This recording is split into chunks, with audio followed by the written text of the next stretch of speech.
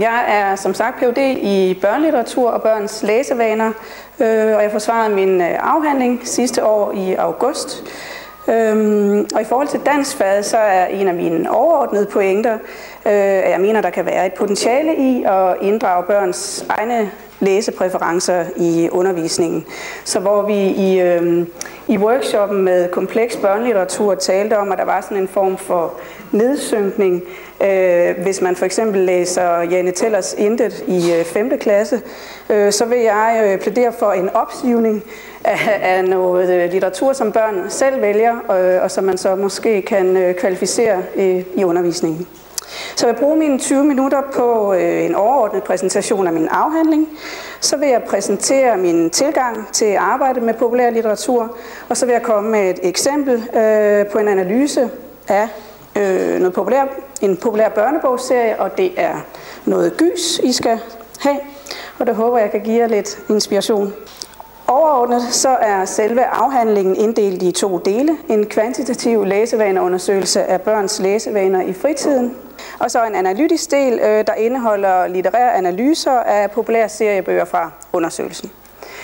Se, når man, øh, øh, det der med at kombinere en kvantitativ øh, spørgeskemaundersøgelse med øh, kognitive analyser, det er en øh, ny måde at kombinere på. Øh, inden for forskningstraditionen, øh, øh, der har det været mere udbredt, at man supplerede øh, kvantitative data med øh, kvalitative studier, for eksempel i form af interviews eller, eller case-studier, for at få uddybet respondenternes udsagn. Øh, og kvalitative interviews i den her sammenhæng øh, vil give os en viden om, hvad børnene selv øh, tænker om deres læsevaner. Men der kan jo være rigtig mange forskellige grunde til, at øh, vi øh, vælger en bestemt litteratur. Øh, det kan handle om interesser, impuls og lyst, øh, som vi ikke øh, nødvendigvis selv har ord for. Og det gælder ikke mindst børn.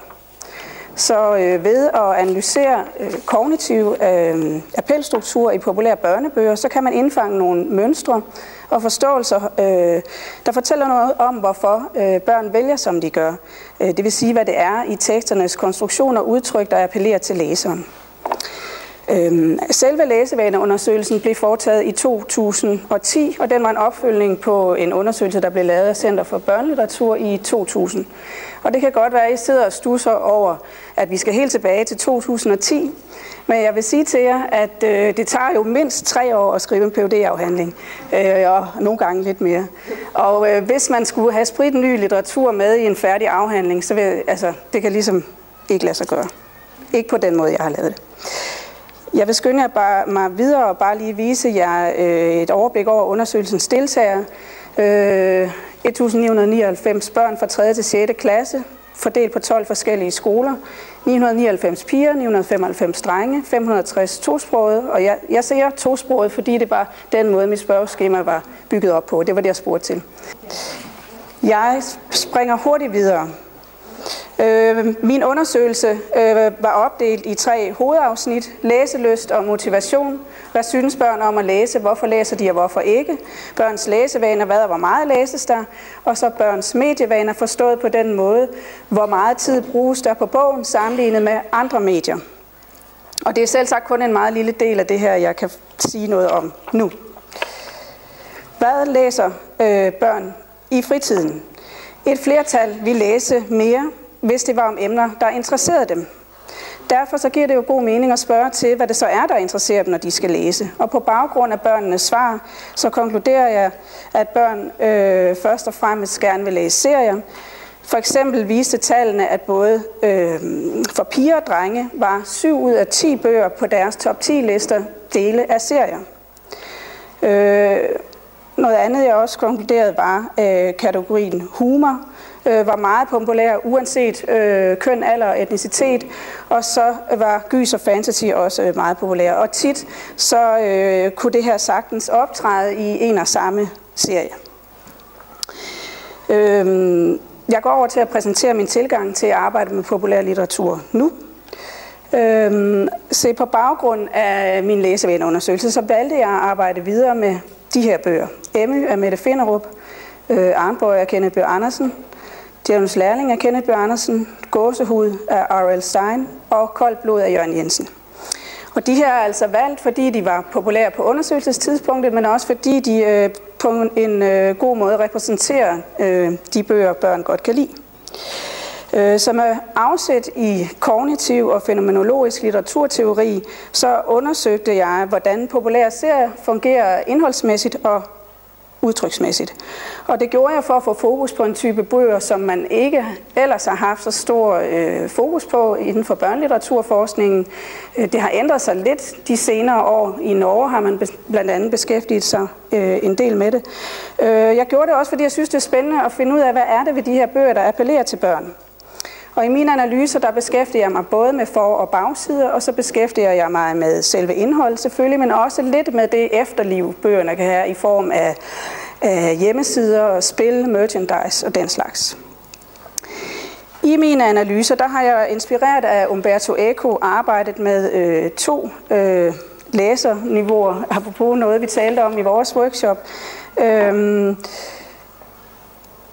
en læser på noget, jeg kalder første niveau, øh, som øh, forholder sig empatisk øh, og lader sig gribe af plottet, som har en umiddelbar tilgang til indlevelse, overraskelse og identifikation af det velkendte, og som typisk søger øh, genkendelse og bekræftelse.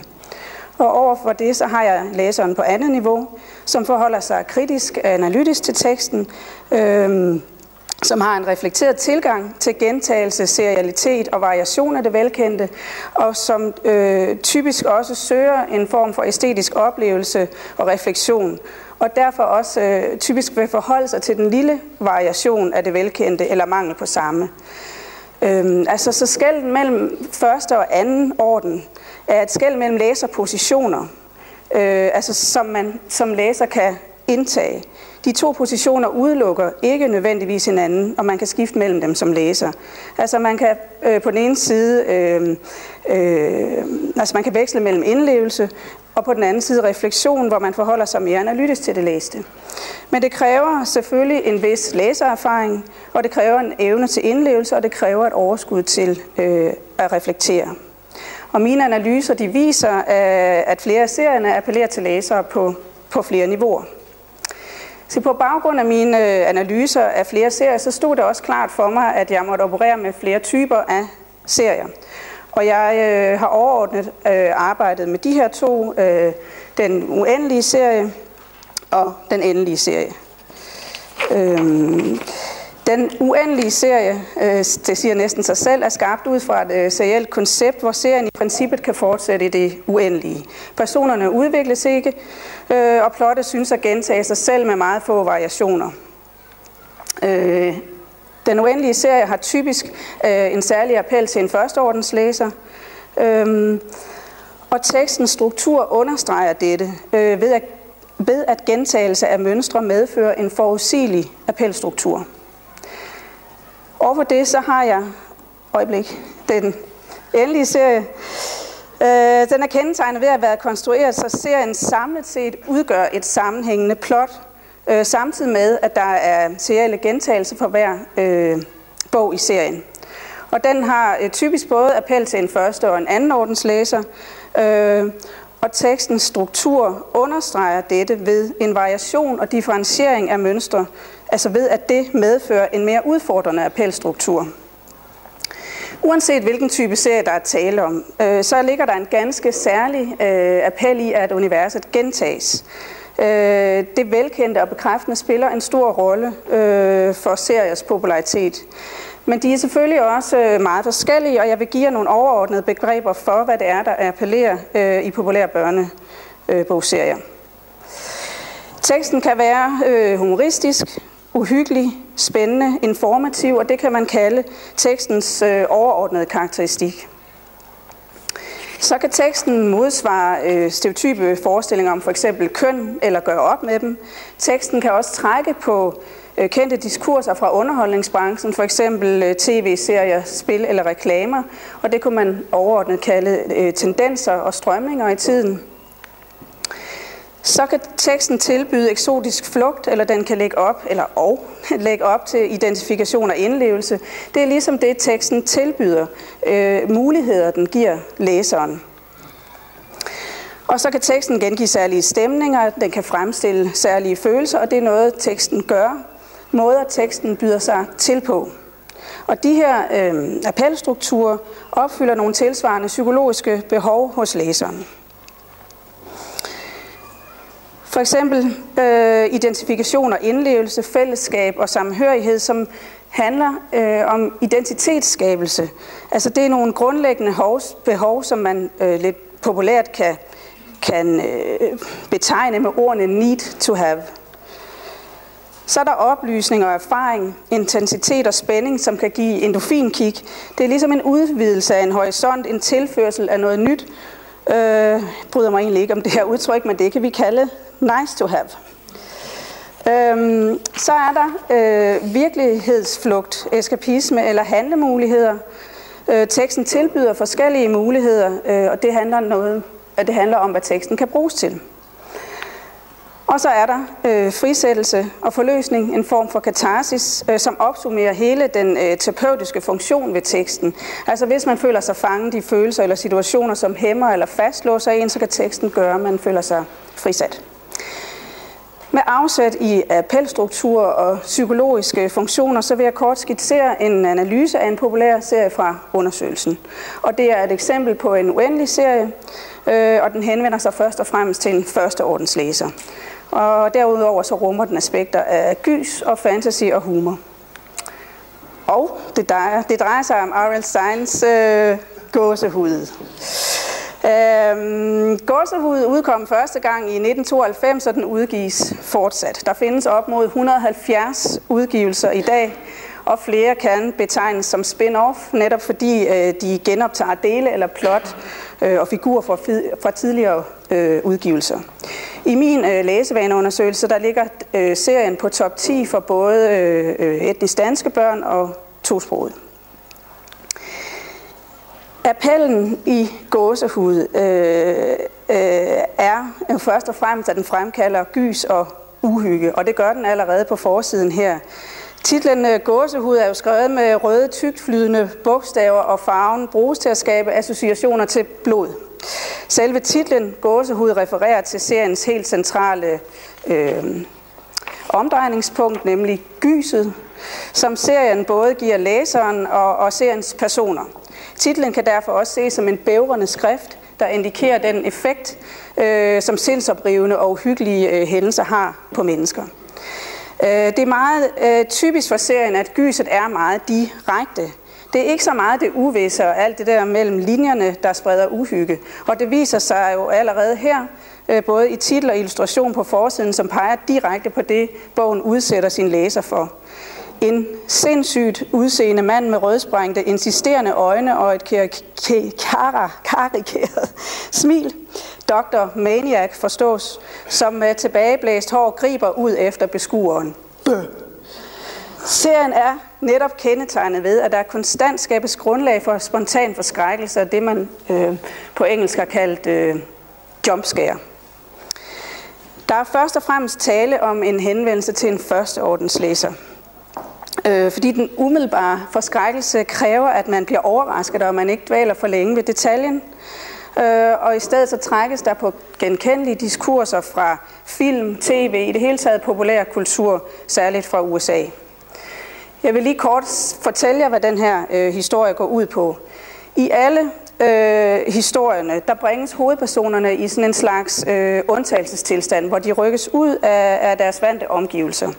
Og i det her tilfælde er det altså Robbie, der er på teltur i en skov med sin familie. Så udgangspunktet er øh, en helt almindelig familie med to forældre og to brødre, som driller og håner hinanden, som øh, søskende nu typisk gør det.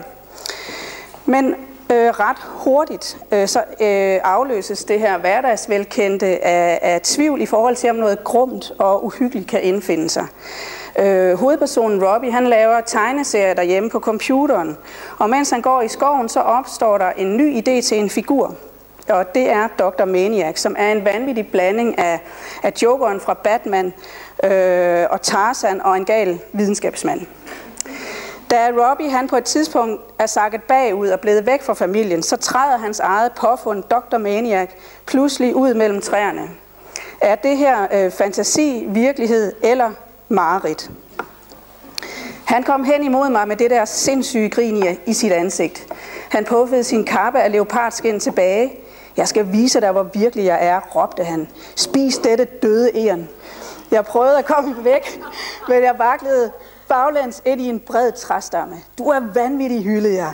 Dr. Maniac rystede på hovedet. Jeg er ikke vanvittig. Jeg er Maniac. Han støttede til mig med brystet. Han havde et stort gyldent M hen over det. Kom så, spis det, forlangte han. Spis det.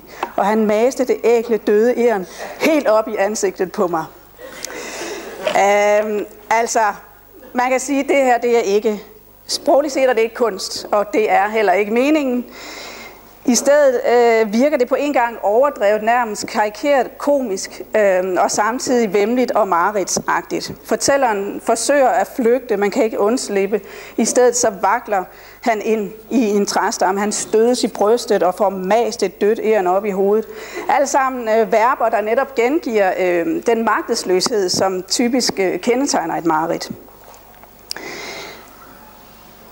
Så serien, hum, øh, serien appellerer også øh, med en form for humor og også genkendelighed. Øh, den opstår som i, i øh, det, det, citatet her ved, at velkendte symboler og figurer blandes sammen Øhm, så de netop fremstår komiske og, og skræmmende.